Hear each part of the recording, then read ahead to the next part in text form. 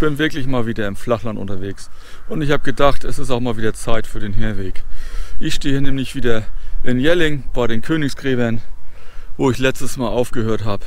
Inzwischen ist auch viel Zeit vergangen. Das Rapsfeld, wo ich letztes Mal stand, ist abgeerntet. Und so kalt wie es letztes Mal am Nachmittag war, ist es jetzt heute Morgen und muss jetzt noch nicht mal frieren. Ah, schön ist das heute. Wird Spaß bringen.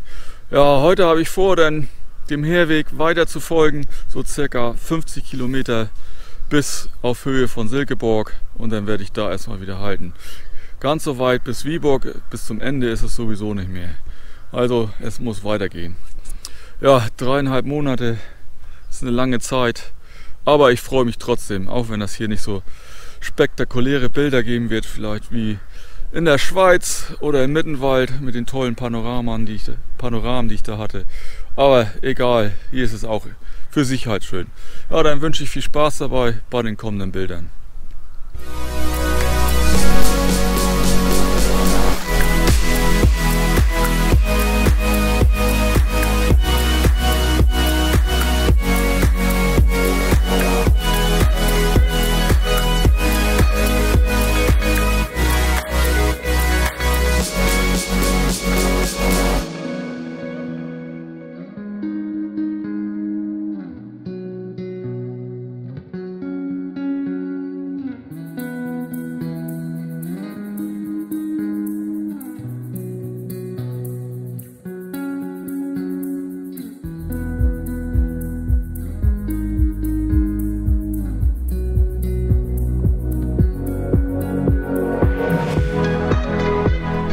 Ja, die Ernte ist dieses Jahr schon ganz schön spät. Wir haben ja schon den 25. August. Normal sind alle Felder Getreide vom Getreide eigentlich schon alle abgedroschen.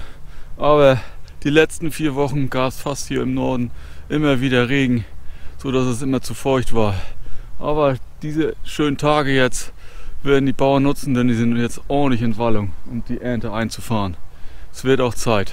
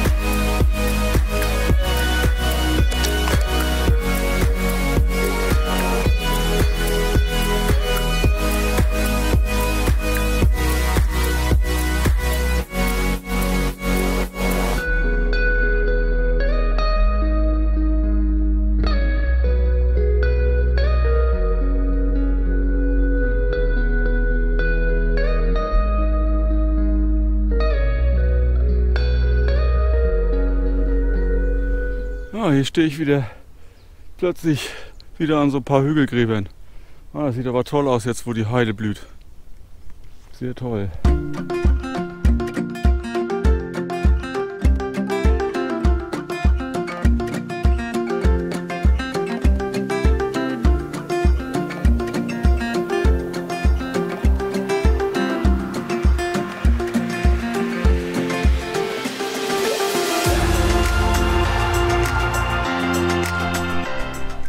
Direkt hier dran ist sogar gleich ein Shelterplatz. Ganz tolle, die gerade hier übernachtet haben, die sind gerade losgefahren.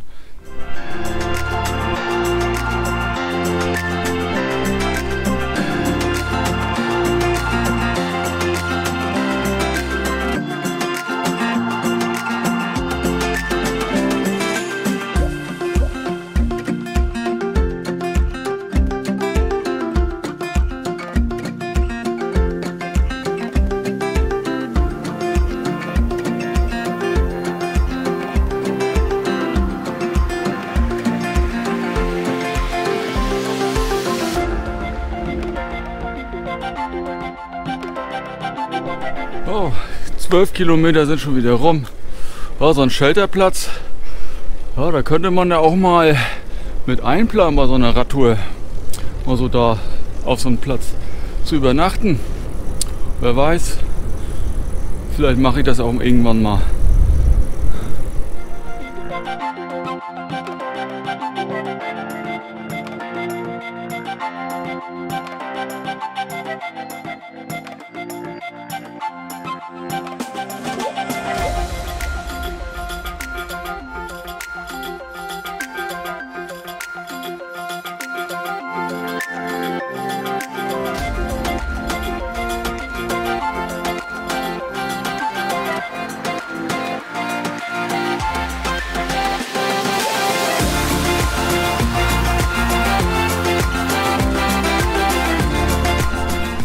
Hier im nächsten Ort gibt schon wieder die nächste Übernachtungsmöglichkeit.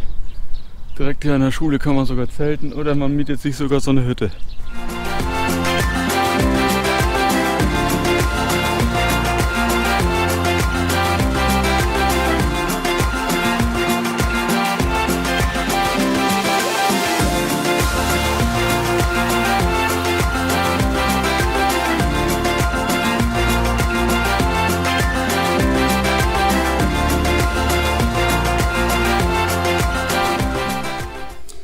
Toll. Und das alles hier nur auf Vertrauensbasis.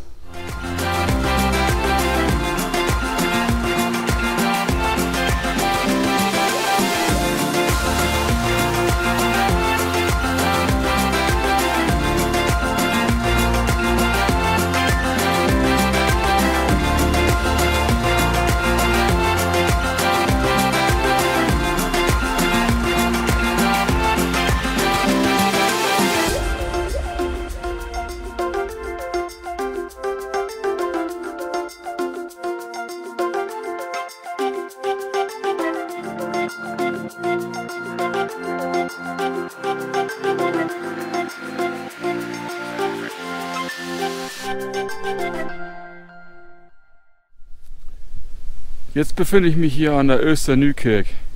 Das ist ein besonderer Punkt am Ochsenweg oder beziehungsweise Herweg, denn das ist die höchstgelegene Kirche Dänemarks. Das kann man auch gleich sehen, weil man hier hat einen guten Blick gleich. Gleich. Und so eine kleine Legende gibt es auch zur Gründung dieser Kirche, nämlich die Dorfbewohner hier in der Nähe haben Ochsen mit verbundenen Augen in die Nacht geschickt und wo sie am nächsten Morgen die finden werden, wollten sie eine Kirche errichten das war hier. Und das wird man auch gleich sehen, ist echt ein schöner Platz hier.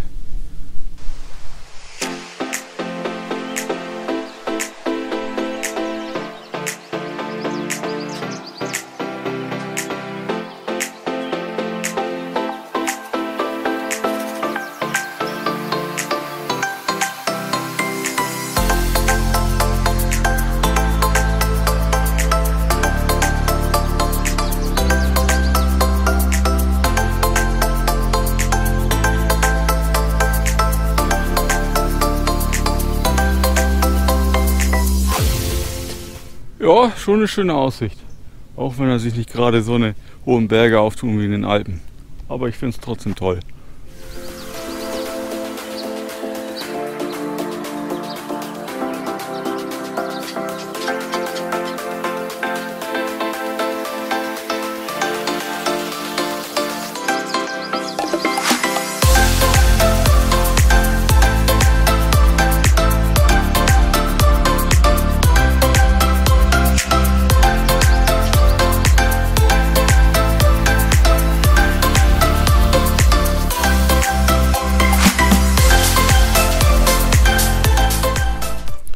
Schon gleich die nächste historische Stätte.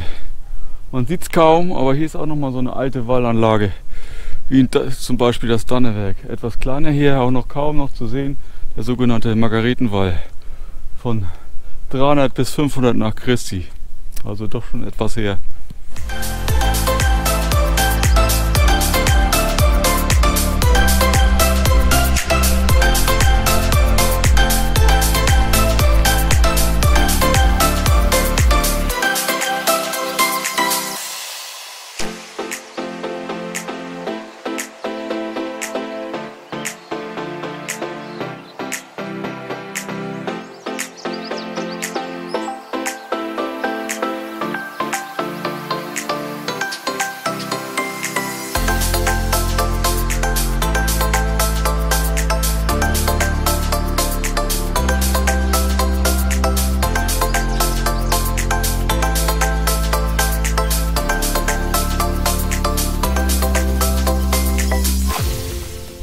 Ich habe gerade mal so einen kleinen Abstecher gemacht. Hier ist auch so ein bisschen die Wasserscheide von Dänemark. Hier entspricht die Gudna, der längste Fluss Dänemarks, der Richtung Ostsee fließt. Und kurz davor gerade eben war die Skane, die Richtung Rindkörbingfjord zur Nordsee fließt. Ja, echt schön hier, tolle Quelle.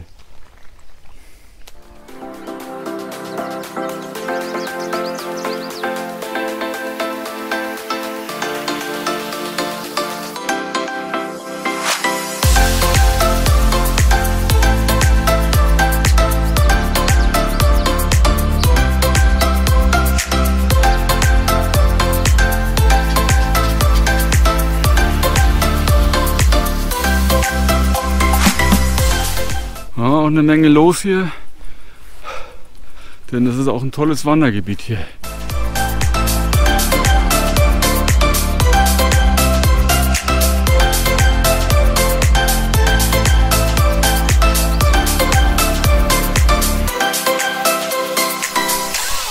Es gibt ja auch Horsepacking.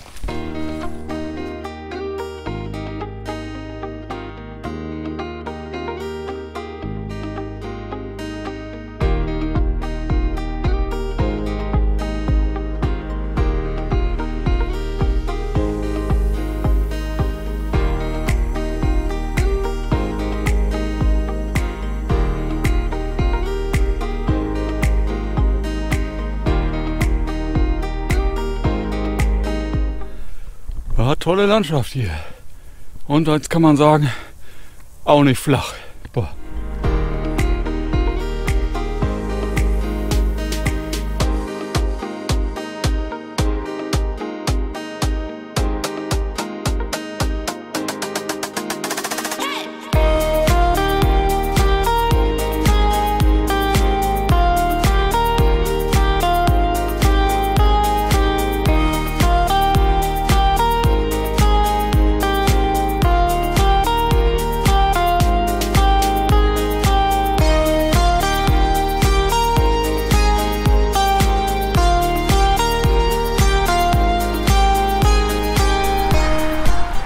Gerade so ein uninteressanter Abschnitt hier. Da kann man erstmal ordentlich Kilometer machen. Einmal kurz durch Norrisnede, so ein Örtchen hier. Einmal hoch und dann gleich wieder alles runter. Aber besonders interessant war es jetzt nicht.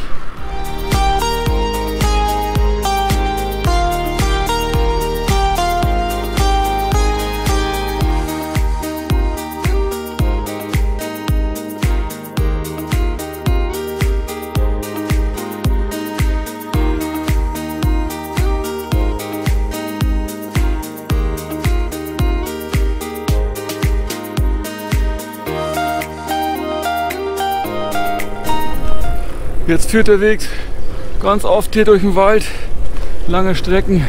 Das ist echt angenehm bei der Wärme heute. Angenehme Kühle hier.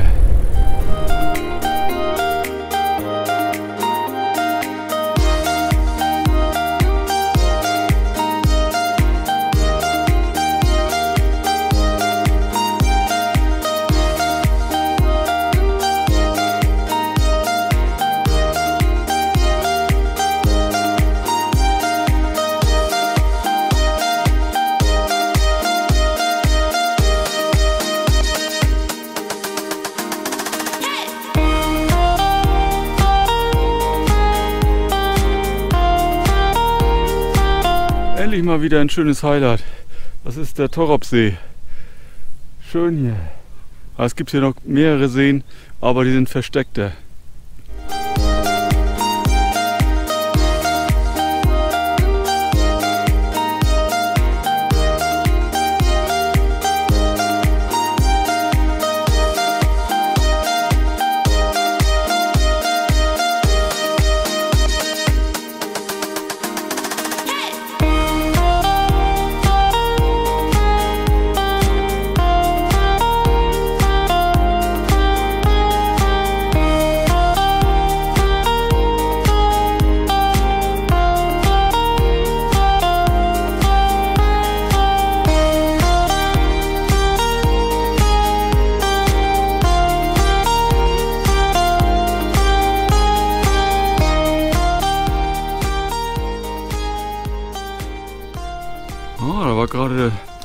Triathlon Silkeborg, die Strecke.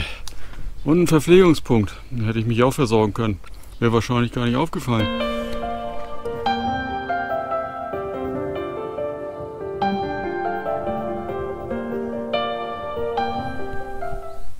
Oh, das ging jetzt ein Stück bergab. Und jetzt bin ich schon wieder in so ein, so ein Heidegebiet. Das ist genannt Fratz Sande. Bestimmt nicht richtig ausgesprochen. Aber schön, sehr schön.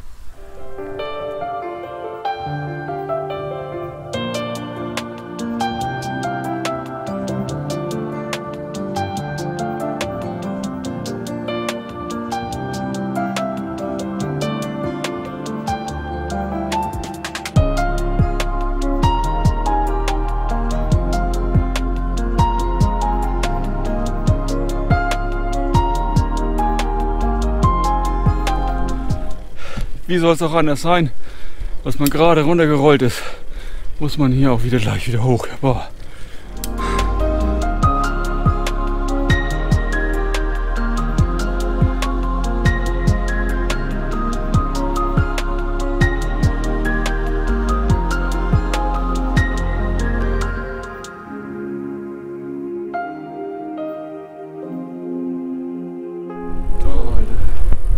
Wow, wow, wow.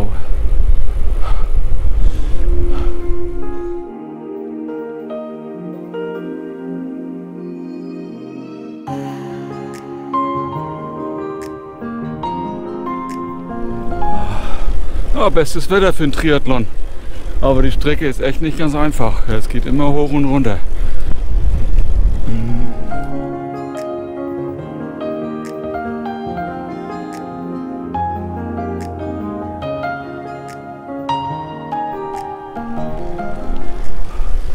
Bald schon wieder am Ende der Etappe.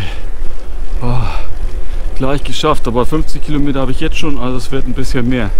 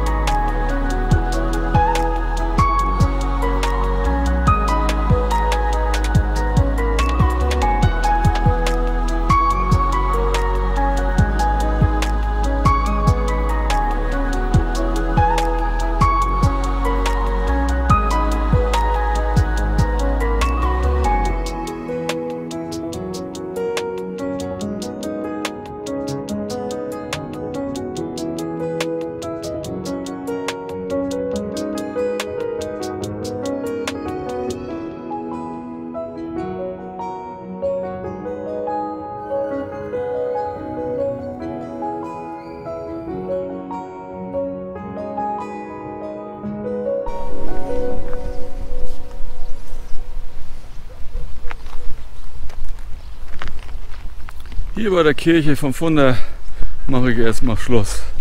Ja, langt auch. 55 Kilometer. 550 Höhenmeter waren darauf verteilt, also nicht ohne. Oh, denn die Wärme dazu, das hat dann doch ganz schön gefordert. Ja, war echt schön, schön geführt. Viel durch Wald, an Heideflächen vorbei. Ein paar tolle Highlights dabei wieder heute. Ja, also der Weg ist auch gar nicht so schlecht. Ja, ein Stück kommt noch. Bis Viborg sind es jetzt noch 42 Kilometer von hier. Ich hoffe, es hat heute gefallen, dass ihr auch beim nächsten Mal bei der letzten Etappe auch noch dabei seid. Also, denn danke fürs Anschauen. Bis zum nächsten Mal. Moin, moin.